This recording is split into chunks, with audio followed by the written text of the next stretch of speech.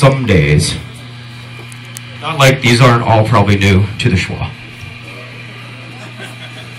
Crickets.